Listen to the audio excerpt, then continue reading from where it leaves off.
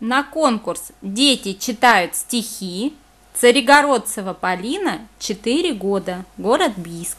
Стихотворение Пенкиной Дарьи «Победа». Мой прадед рассказывал мне о войне, как в танке сражались, горели в огне, теряли друзей, защищая страну. Победа пришла в сорок пятом году, весеннее небо, победы салют, солдаты России наш сон берегут. Я вырасту, детям своим расскажу, как прадеды их защищали страну.